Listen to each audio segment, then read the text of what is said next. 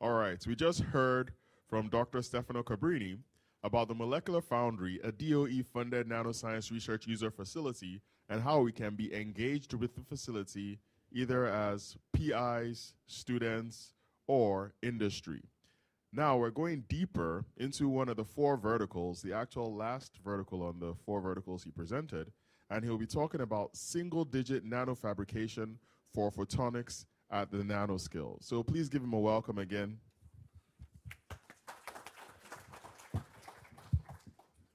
Yeah, me, me again.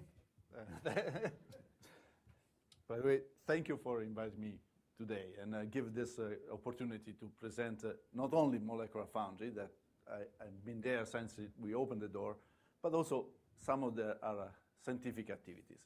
So now, before I told you what is in general Molecular Foundry, but here I want to give you some example of some of the projects that we are doing in my facility, and particularly I'm involved with, with the user and even in our, in our own.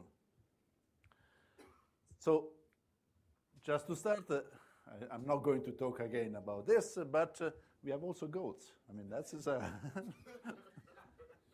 to keep the grass low, and we are employing those, those guys, and they're doing a very good job on uh, protecting us from, from the fire.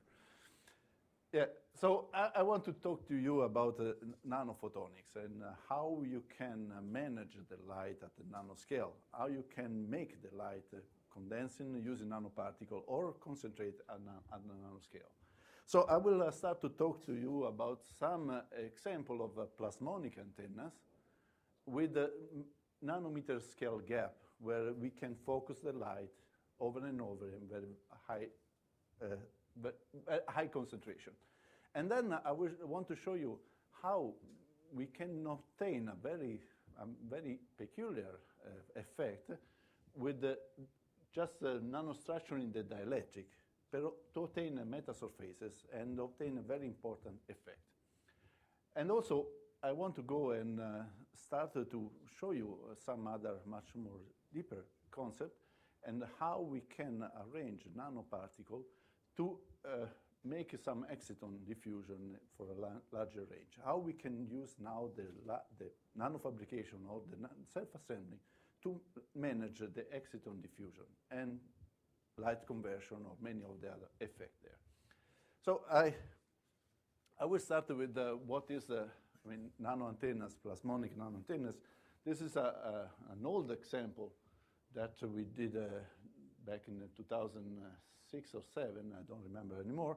But uh, there was a paper also in 2005 that showed that uh, if you have a two triangle of gold, looking each other, those are perfect antenna for light because they transform the photon in plasmon. Plasmon, plasmon polariton are oscillation of the charges on the surface. The charges are not moving, are just uh, started to oscillate from their position, and they create some waves. Those waves, they have a much lower wavelength than, than the light, so they can start to oscillate even in nano, on nanoparticles. So the light is much longer, so you will not see this particle here. But it can be transformed in plasmons and they can start to oscillate. And when you put those two close each other, you start to have uh, some oscillation that uh, they put the charges positive and negative one in front of the other at the nano gap. Smaller is the nano gap, higher is the enhancement of this field. So this is a simulation that shows that the enhancement of the field is all concentrated here. So you can really use, think this as a nano lens. You take all the light, you concentrate and squeeze in a single point, and now everything is almost zero, eh, but that point is very high. We use this concept for creating some of those uh, campanile tip that I show you there, but uh, we want to understand also what are the limits of this. Can we put, yeah, you see in 2005, they were reaching uh, 30, 20 nanometers. Uh, they were really struggling to go better we were able to make uh, four nanometers sometimes in a specific condition, but it was very, very hard. How you can, uh, how much you can go close each other with the, these two tips, how much you can make an enhancement. If you look at this, uh, this curve here, you will go infinite, but then the, there is a quantum world. So if you start to be too close, there is a tunneling effect. electrons are passing from one side to another, another side. And then you ruin everything.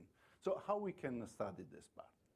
And so we have a, a Professor Wei Wu from uh, University of South California that he, he came with a good ideas. He said that uh, to control the, uh, the gap between the two of those uh, metal antennas, I can cover those uh, metal gap with atomic layer deposition, very thin layer. What is atomic layer deposition? Is a probably many of you knows already, but it's a process that uh, let in the chamber enter one precursor gas. This precursor gas deposit on the surface, but it's just a gas at this moment.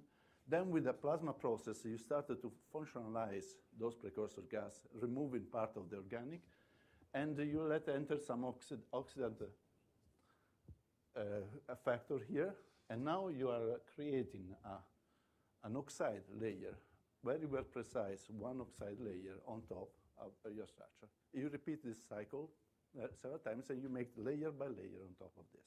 So you can uh, grow this uh, oxide around with a precision of uh, angstroms. So in this case, say I change the property, I can uh, adjust the gap between these two metals. How can I do this? Just putting these two metals on top of some pillars, make those two pillars collapse together, and now they are touching, and the separation is this metal, this oxide here in the middle. So it was a, a, a good idea. So we did this uh, with the nano imprinting. So we replicate a very large area of those pillars here. We deposit gold, uh, we deposit gold, and then we etch those uh, polymer pillars. Then we coated everything with atomic etching. Then we dip in the water, remove it. Water evaporating makes those things collapsing. And now we have a, a very large area of those particles here that are very easy to measure because it's a large area, so you can enhance the, the, the effect with, the, I mean, just because you have a large number. And uh, what we see that uh, changing the, the dielectric in the middle, we have an enhancement that is increasing until uh, 4 nanometers, around 3 nanometers, and then it starts to decrease. It's moving through the blue shift, that is the theory say that it will happen like this. But now we can uh, go exactly and tailor nanometer by nanometer what, and see the effect.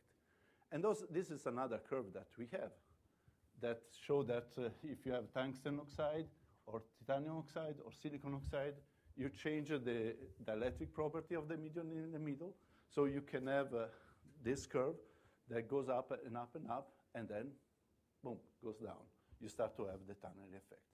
So it's not true that you can go in a smaller gap as much as you want. There is a limit. There is a, an optimal gap here that is say that when the things are efficient or not. And uh, here there is uh, some TM images that show that uh, there are these two gold particles and they are divided by this titanium oxide and you see the titanium and the oxide are in the middle while the gold there is no anything in the middle. So we have a real gap with some dielectric in the middle and they can measure that there is an, an optimal matrix there. You can do this if you can control at the nanoscale or below nanoscale all the property of those materials. And those are why they are coming to us, because we know how to do some of those things. This guy, Wei Wu, is one of the most expert in nanoimprinting. So he knows very well how to do nanoimprinting. He knows, he understands how to make the collapse. But how can I adjust exactly that specific one? He was a committee member in our council. Sorry? Wei Wu was a committee member. Yeah, he, was in HP before. He was a very good guy. He got his position in uh, South California. I tried to bring him here, but uh, I failed. He wants to be a professor. Eddie is a very good professor also. So those are, are some uh, enhancement that we try. I mean, uh, once you have this uh, small gap, your uh, field in the middle is very high. So this is some experiment that they made, they made with some dye in the middle. So they illuminate uh, with uh, just on a flat plate and one of those uh, nano fingers, and you can see that there is a huge enhancement on the photoluminescence of those dyes. That is, huge increase. But you can see also that what is the difference if you have a two nanometer gap and four nanometer gap. You have a big enhancement even with a bigger gap because that is the optimal gap that is there. But there is not only this. I mean, uh, there is another factor here that say, how can you put your analyte there, and what are the other effects that you can have? And to study exactly what are the effects of this uh, uh, enhancement, we went. To, we use a. We had another project with another, uh, the CNR in, in Italy. Yes. When you have the uh, Yeah. Collapsing with capillary, um, do you get multiple? Like you, sh- you illustrated two. Yeah. Could be three, could be four, depending on the way you built your array. Uh, you could get some different results. Absolutely yes. Absolutely yes. And that is, uh, I mean, I, I showed just two, and so that to make two, we, we pattern, we, pat, we cheat. We pattern a little bit asymmetric Pairing of them everything there, in the way that uh, those two are collapsing. You make three, you make five, that will start to collapse there. Now, in a previous experiment, we saw that uh, when you have more, multiple particles, every single uh, nanometer difference, or even lower, it will change completely the distribution of the field in the. So probably you have a few one nanometer bigger balls in one direction and the other, it will change completely. So it's- much more difficult to have a multiple one. But it did. We made a lot of those uh, multiple, and uh, it's fun because you start to have all this uh, nice feature, nice design, and you can play with all of those. So with the with other user from uh, from the CNR, we made another experiment. Let's make those uh, tip in uh, bow ties and antenna, and let's see what happens when we are going closer. Not only is the proximity and tunneling effect, but we can have also some problem with the oxide around there. So we change the refractive index of the gap in the middle. So what happened exactly over there? So to do this experiment, uh, we use a, a collaboration that we have with the UC Berkeley, where they have a, a helium microscope, and we use uh, the helium microscope as a nanofabrication tool. So now the helium uh, is, uh, can focus much better and can have a very, very sharp cut. We show that there are, you can go with a 5 nanometer gap in a 100 nanometer of gold and be perfectly vertical with those tools. It's very slow, so I will not suggest to use it in production, but if you have to do a very small cut, now it's making more sense. In fact, in this first case, we use the electron beam. We, we cover a glass substrate with gold, and we leave some of those uh, windows open. And then with the electron beam, we deposit some uh, uh, metal, some aluminum in the middle of those windows. We pattern those with the electron beam, and then we keep with a, a small, uh, with no gap in the middle. Then we went with the helium mi- microscope, and we just briefly, with a very low current, cut the gap here. Now this gap is a few nanometers, and we can control pretty well. But you can see from this picture that uh, the, all the, the aluminum is pretty ugly. But that's normal. I mean, that's evaporation. It's always like this. Really, it's one of the best deposition of the aluminum that you can have. But it's pretty ugly. So we, we thought, let's have uh, an electron beam, the, uh, the uh, electron beam patterning with a square or a rectangle. With the helium microscope, we made the bow ties now. And you can see that so the, the cut is much more sharper. But also the effect of the helium microscope on the material is making a sort of a very localized annealing. So it's smoothing, it's smoothing very well the surface. Now we don't have anymore this crappy surface, but we have a much smaller there. And now from this point, we just made this small gap here. And we can adjust this gap very well in, the, in this case because the, resolution is very high. And this cut is very small. I mean, it doesn't take very long. If you have a good alignment system, it is very long. We are using very low current. In this case, 2 pico. This, in this case, uh, 13 pico. But the process doesn't take very long. It- obviously, it's just combining this small part here on the, on the part. So what we have is aluminum. So as soon as we cut, we have a very nice uh, sharp gap here. But then if we are looking uh, outs- uh, bringing the sample outside and look at again, you can see that the gap is somehow connected, obviously, there is a oxide. Oxide is growing from uh, the aluminum and it starts to reconnect. So what happened? That our aluminum core is here, and around I have all my oxide alumina. Now, my gap is small. I have a nice enhancement, but my field is not anymore in the gap because there is the oxide. So it starts to be outside of there. So what we are doing, and we confirm this also with some experiment, what we see that if you have a very small gap, and the gap is completely closed at the end, your enhancement is a little bit pushed out. So now you don't have any more a single spot, but you have two spots. So somehow you are separating the, the full intensity, so you are making a very smaller intensity. Why, if you have a, a little bit of space in between, even the oxide, now you can start to see much higher enhancement because there is, everything is confined and keep it inside there. Not only, but if you have something that you want to analyze, now you can put this on the, on the gap there. You, can have, you have a space to make it. If it's all oxide, you don't have the way to, to insert very easily the things inside there. So, and then uh, more and more you are increasing the gap, uh, the more you are uh, reducing the, the, the, effect of the enhancement. But yeah, we are not in the tunneling effect anymore because uh, we have uh, this oxide that is in the middle. So before we say that, yeah, we can bring it very close until you have a tunneling, but then you have to figure out that in the real world you can have also some oxidation and some of the material in the middle. And that is a little bit more difficult to understand now, how you can manage those tips there.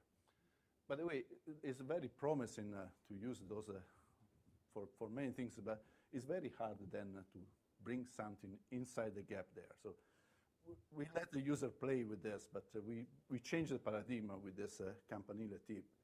We bring, the, they put the, the, gap on a FM tip or a, on a fiber, and we bring the, the fiber on the material that we want to measure.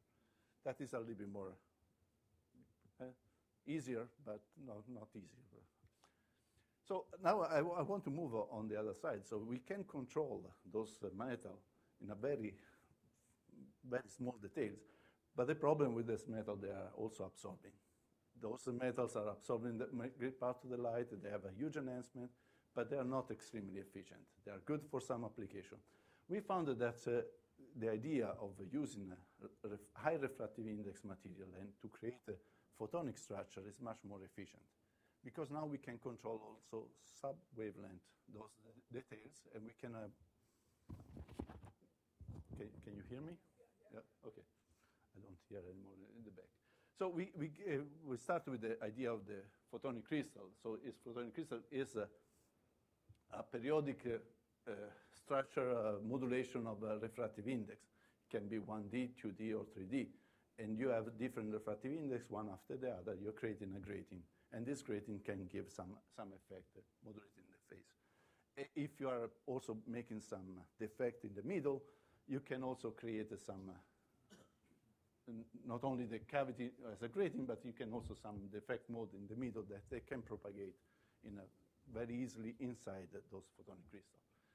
So, so far one dimension to dimension was easy. We made some experiment to try the three-dimensional photonic crystal. There have been some experiments from NODA in Japan and from other groups in, here in the United States to make some of those. They went in a few layers. Uh, that was very difficult to create some defect in this case. It was a nice experiment, but we wanted to make in a visible light and with a very, very controlled de defectivity there. So ARA was much more an exercise of style, not any application, but can we do this? And uh, to do this, uh, we use a silicon nitride as a high refractive index material, and we coated every, every layer with a new material that one of our users was developing, that SBR polymer. It's a polymer that has a very low refractive index. In the visible light is 1.2 or even 1.19. So it's very low, and has a very nice property, as you can see here, is self-planarizing. You spin it, and in certain conditions, you don't have any and more topo topography anymore here, and you can just deposit here this very easily with a, uh, an annealing of 400 Celsius. So not too high, but pretty high, but silicon nitride is good on this. So now we can make the first layer, make some markers around, deposit silicon nitride, silicon uh, uh, SBA, SBA polymer, and uh, repeat making the patterning, deposit SBA, and repeat the, the second layer again with the deposition of silicon nitride, again SBA, and go one layer after one layer using the same alignment marker that we have at the beginning.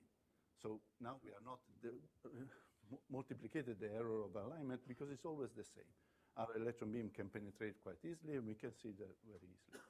And those are some of the results on the fabrication. And you can see that uh, we have uh, 8 or uh, 10. We have another picture with the 10. And the alignment is uh, pretty much in the range of a few nanometers or what we can check with our electron beam. So in this case, we write one single layer uh, at the time. So we can uh, decide where to put our defect because it's written directly there. And this, those are some simulation and some measurement, and this is a, a defect that uh, we have done it with uh, some input of the light and coming out there. So you can see the wave guiding of the light that is propagating inside the, the, our system there. So it was good to say this uh, experiment, but yeah, this is a 3D photonic crystal with a lot of efforts on, uh, from our techni technical staff to deposit and line and all the other things. And it was much more an exercise style, but we can control very well the uh, positioning of all of this material with a very high resolution that gave us some very strong potential. So knowing uh, those are our capabilities, some other user, they came to us and uh, they start to make some what they call BIC bound in a continuum states. Those are 2D photonic crystal with a very high refractive index material on a substrate. We need substrate. We try to also make. And this layer here is so thin that there is no any mode that can propagate inside this slab. But there is a periodicity. So the light try to find its place because they, they find that the periodicity is, they like it, but they cannot propagate because it's not a propagating mode. So they started to figure out how to, to adjust the light inside. And there is one of this uh, BIC mode that is not propagating, but it started to collect energy and energy. And in this case, you can have a very high field that is uh, just sitting inside the photonic crystal, and uh, it can sit on the edge of the, of, the, of, the holes, or can propagate inside, can be diffused inside or not. So this is a, a very simple, but has to be precise. If there is any defect here, it will uh, start to scatter from that defect. But if you're making a very large area of those BIC, you can start to pump a laser inside, and this laser is absorbing and absorbing the light for a pretty much high enhancement of the field. So they, they try to make also some uh, sensor out of this. And you can see that, uh, I mean, just putting some uh, analyte on top of this, you can uh, start to collect a very sensitive enhancement of the, of the signal inside there. So we, it's possible to just using a simple structure, but the precision is quite important, and the pureness of the material is also extremely important in this case. So again, what we can do, we can adjust even more, and this is another collaboration with the Magic Leap. It's one of our user collaborator. They are uh, trying to make the lenses uh, less bulky possible. They want to make some uh, augmented reality. So the simple glasses that you are wearing and they are projecting the light on you. You cannot have very bulky lenses, they will be too heavy. But if you are start to make some uh, meta materials or meta surface, you can bend the light, you can adjust the light as much as you want. But the, this, uh, in general, this grating, they have a problem, they have a grating. So they, they are dependent on the angle and they are dependent on the frequency. But if you are clever enough to make some of those grating small enough, they start not to be dependent on the angle anymore or uh, the frequency. So they can have uh, the same phase shift for several angles or several frequencies as well. You can adjust those uh, material, those uh, dimension very carefully, and you can obtain some of those effects just uh, adjusting the dimension of the things. So what we have done with them is a very large area of those kind of grating with a separation of 20 nanometers on over a very large uh, centimeters by centimeters. It's uh, an exposure that was the entire weekend. Okay, nobody else needed in that case, and we just dedicate to them to show that it's possible to make some of those materials, some of those metasurface. And those are uh, insensitive to the angle of the illumination, so they have no any rainbow effect that are visible on, on your glasses. That will uh, help them to, I mean, just shrink in all the dimension and make it more efficient light.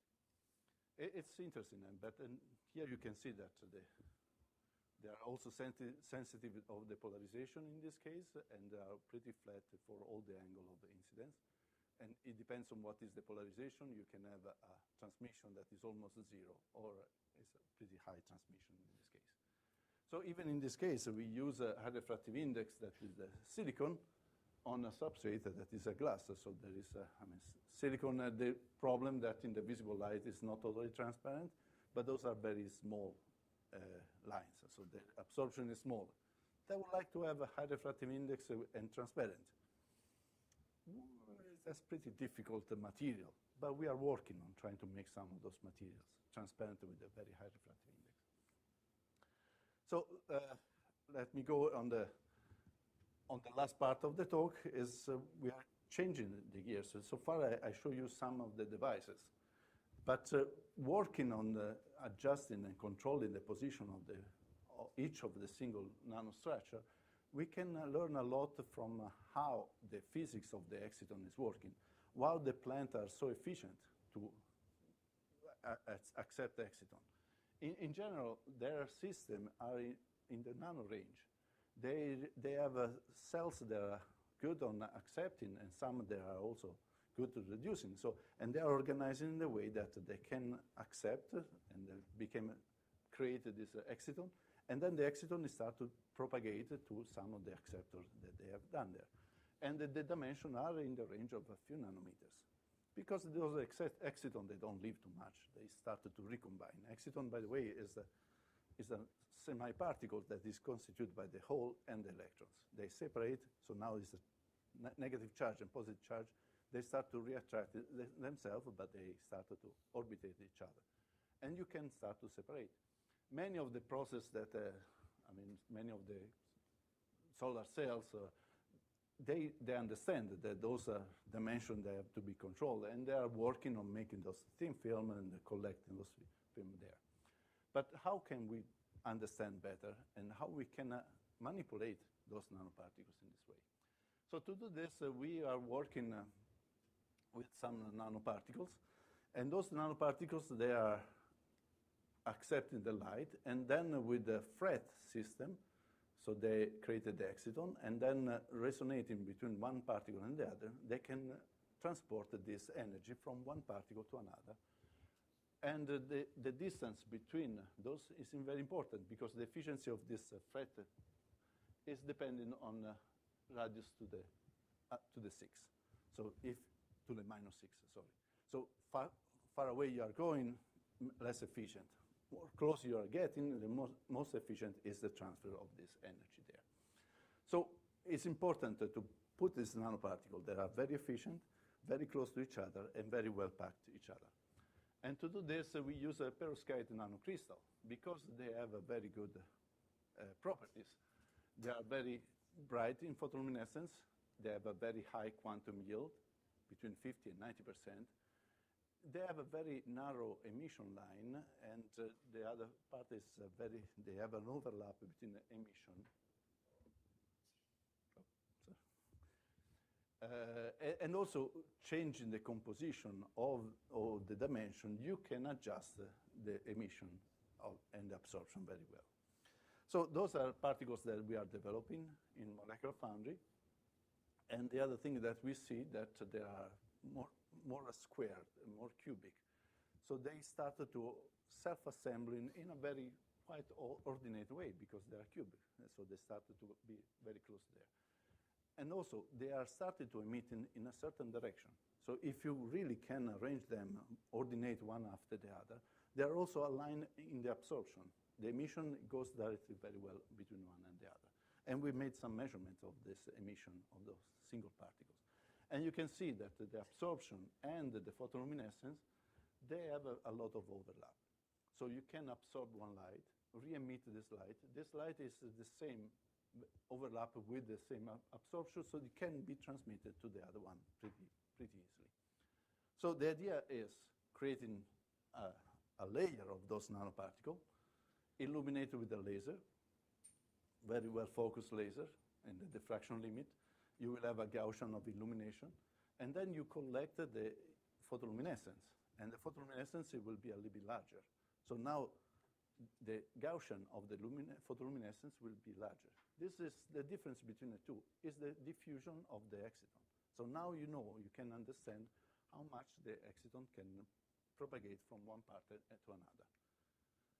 So one of the things that I didn't say that those uh, perovskites are very good, but they are very sensitive to water and to many solvents.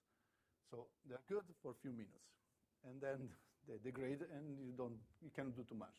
But we found a way that with atomic layer deposition, a very thin layer, we can separate them from the external factor. And now they're much more stable. They lose a little bit of the efficiency, but just a little bit. But now they are stable for weeks. We send some of the sample in Europe, in Switzerland, and they measure, and they are still stable with this. Just putting a very thin layer, capping layer on top of this. So that was, a, I mean, pretty good because now you don't have to make the solution, deposit it, go in the lab, an optical lab, making the measurements. Yes, please. Are you trapping something around the rim so you don't get ALD, one of the property is conformal. It covers everything that you have there. So, yes, you put a, practically a, a bag. you put everything in a, in a bag so you don't, you don't have any more problem. Yeah. Uh, so we made the two experiments. One is uh, with some sparse nanoparticles, and one with very well compact self-assembled particles there. You see, they are pretty regularly assembled, but there are still a lot of defects here. So what we have is that we illuminate with the laser. In one case, uh, we obtain uh, this photoluminescence here. In the other case, we have a photoluminescence that is uh, much bigger. Now, you say, yeah, of course, you have more power here. No, it's not just uh, power. It's just it's larger. The Gaussian is much larger in this case. You have a much larger distribution of the two things. Now you can see this is uh, the, the sparse one, and the blue is the homogeneous monodispersed one. And you see that is larger because it, the particles they can uh, talk each other, and the exciton can diffuse much easier because they are very close to each other. So now we, we know we can measure the yeah, we, we can measure what is the, the distance, the diffusion, the diffusion length of this exciton, and we measure that is in the range of uh, 200 nanometers. That is quite a lot. I mean, uh, normally nanoparticles, they have 20 nanometers. Now we have 200 nanometers for the exciton to propagate. So we can, make, we can put pattern our anode and, and cathode 200 nanometers and make those much more efficient. So we know how to do it, but we have to make them very well order, ordered together. But we also made some other tests uh, using a time resolved uh, photoluminescence. So we measure one sample, we illuminate in one sample, and we measure the photoluminescence moving out from the sample, but also waiting on the time. So now what we can do is illuminate in here, wait a little bit of time, and see in the same spot how much photoluminescence is coming, or measuring the photoluminescence after a little bit of time far away from this. And for this, we can, we, we can make a map. So space zero times zero, you have the maximum because you are just, uh, all, everything is coming there. Waiting with the time, you start to, to decay, decay. Moving far away, you start to, to decay as well in the other way. So you have a, a sort of a map of the diffusion, two-dimensional, and with the time of this uh, exciton here. And what we have is a, is a map that is uh, working like this. So you show, you show that uh, it's diffusing, and with the time is uh, decreasing and diffusing much more. So what if you are making these lines, you figure out that is uh, is not linear, so it's not a perfect diffusion. There is something that is making this diffusion going in this, I mean, going down. those is because uh, we have some traps. We have some defects that are trapping and uh, losing some of the energy in the middle. But yeah, that's pretty much is normal what we are expecting. But what we can see now, how much is this diffusing out, and this uh, average diffusion is our length, diffusion length, that in this case we are measuring 194, that is very close to the 200 that we estimated before. Uh, so just for comparison, those are the cadmium selenide or the famous nanoparticles. The same measurements is tell us that the diffusion length is in the range of uh, 20, 30 nanometers. So it's really very close to this. It's much better. So what we see if uh, we have a defect, we have a decrease of this uh, propagation because what you have is uh, the exciton is can propagate in a lower energy state, but then from this lower energy state cannot go in a higher energy state. So this is a trap. And the only way that this one has to, we can, can relax is by a phonon. So we lose every time that we have a defect, we lose a part of this energy. So the defectivity is due to the fact that there is a, this presence here. So this is a simulation that we have done with our theoretician, and we saw that uh, if we are making a propagation with a perfect lattice, we obtain the green curve. With a blue lattice, we are simulating random vacancies, and you can see that the experimental data are very close and overlapping the blue data very, very well. So this is, means there is defects. And when you're doing a self-assembly, you will see a lot of defects. You will see some vacancies or some grain boundaries somewhere, and this is something that is, we have to I mean, try to avoid and try to optimize as much as possible. And to do this, we try to organize the particles with uh, some direct self-assembly. So we pre-pattern our, uh, our sample, and we let the particle deposit in there. Here is a cross-section of this pre-pattern, pretty tall layers, and uh, the particles are falling here, one or two layer maximum. And what we can see from this picture, so the, this is 200 nanometer scale, this is a 200 nanometer scale. So you can see that uh, combining them, giving them some order, initial order, they start to organize them much better. They don't have any more vacancy, they are much more regular.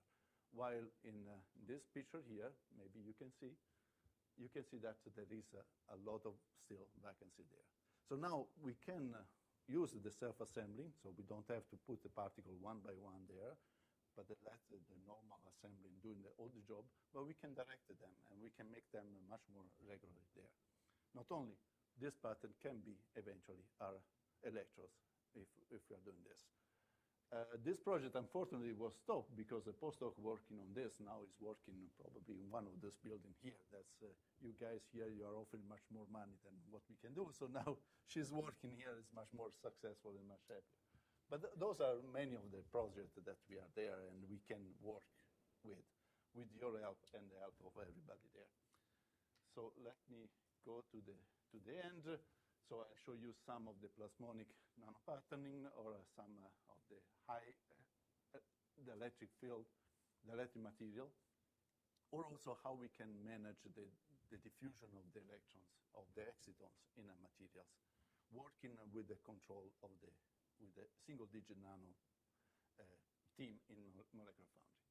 And for doing this, I would like to, thank many of the people in Molecular Foundry and many of the collaborators that are participating here, and uh, would like to thank also the, this organization to organize this nice symposium and uh, give us the opportunity to talk about this. And thank you also for the invitation, and thank you for your attention. and I, I promised that I will not be back in this uh, stage uh, anymore, so somebody else will uh, come and talk. And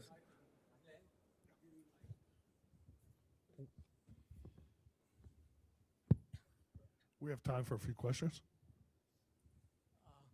Very good talk. What is the last bullet you say, directed self-assembly? Can you make some comment on that?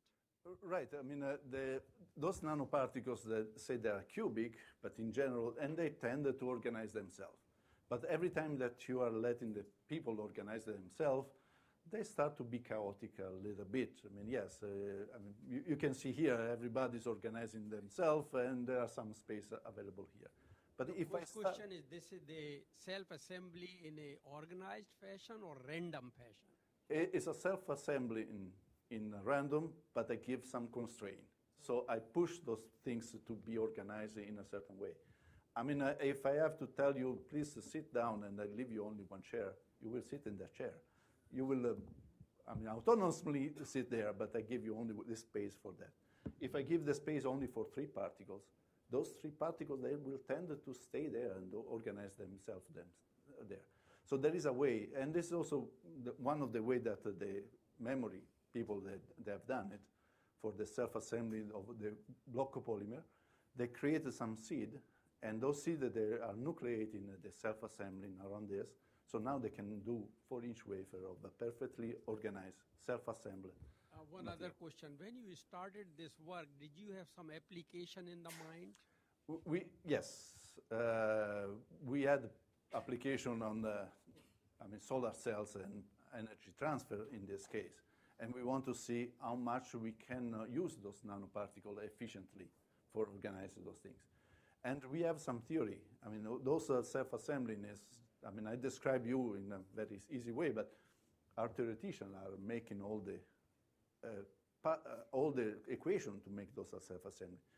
They made also all of those uh, propagation of the exciton very well, and they have a confirmation of what they are theoretician there.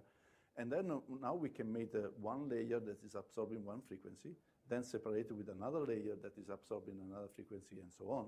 And everything is uh, interfaced with some of those uh, uh, electrodes that can absorb the light. So in theory, I can show you that it's a perfect uh, solar cell that will uh, absorb all the frequency with an efficiency of 90%. But it's in PowerPoint. So before going in reality, we want to see if we can do it. And this is one of the first steps to show that is possible.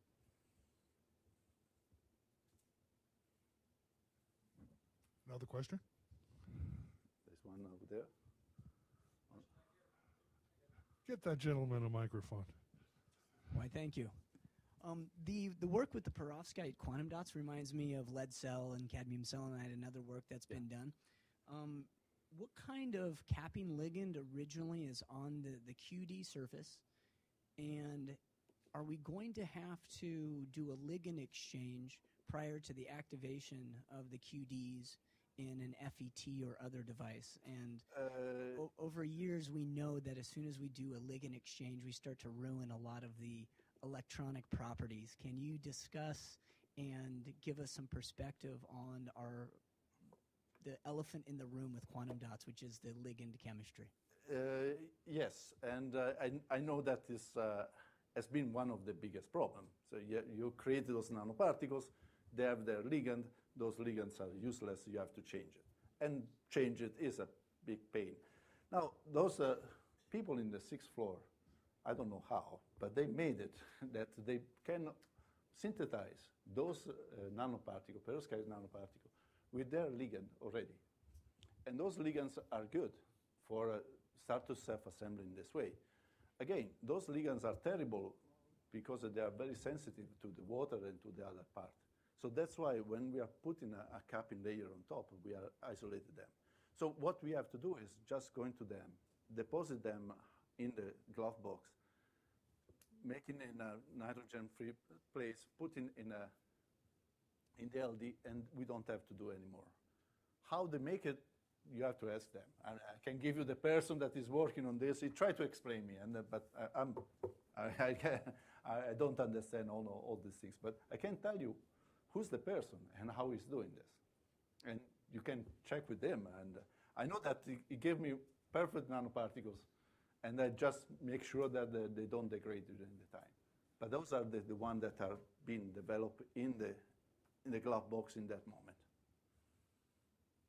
And again, yes, the, the other thing that I want to show you was this picture. The same experiment that we did for this perovskite, we did for the, for the same material here. And that's what we see is the, the, the same behavior for the defectivity, but the diffusion length now is much shorter, is in, in the range of 20, 30 nanometers. Those perovskites, they, they, they didn't degrade at all.